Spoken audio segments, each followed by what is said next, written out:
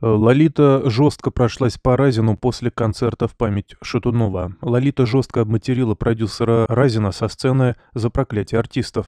Когда организаторы и артисты только планировали провести концерт по случаю памяти Юрия Шатунова, продюсер Разин заявил, что нашлет проклятие на всех, кто примет участие в данном мероприятии, которое он считает сатанинским, это постигнет всех участников, кто вышел на сцену этого проданного концерта, приговоренного высшими силами. Кошмар будет продолжаться многие месяцы, пригрозил он всем своим коллегам, дополнив, что все его пророчества обычно сбываются, им стоит бояться кары. Драму и ужас, которые навевал продюсер, вмиг разрушила прямолинейная Лолита Милявская, которая решила поставить на место Разина. Назвала его падлой, которой хочется прославиться, а также добавила еще несколько нецензурных слов в его адрес, посмеялась и в ответ от публики получила бурные аплодисменты и восхищение. Отметим, что это не первые слухи про Шатунова и его семью, которые распространяются от имени продюсера. Раньше он делал заявление о личной жизни вдовы Шатунова, которая по сей день пребывает в горе.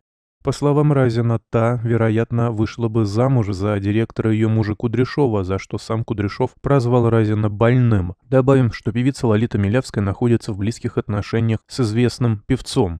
Об этом пишет один известный портал со ссылкой на журналистку Наталью Гасанханову. Она рассказала, что певица сблизилась с Константином Бондаренко, который известен как Коста Лакоста, и моложе Милявской на 33 года. По ее словам, между 59-летней Лолитой и 26-летним Лакостой пробежала искра. Конечно, ты знаешь, кто был ее парень. Коста Лакоста, они встречались в какой-то момент, конечно, она за молодежь. Поэтому Лолита абсолютно наша женщина, заявила Гасанханова в интервью ведущей. Сама Лолита ранее отвергла слухи о романе с Лакостой. Несколько лет назад они записали совместную песню по-другому. Композиция стала хитом, клип собрал почти 90 миллионов просмотров на YouTube. Милявская заявляла, что с Лакостой просто дружит.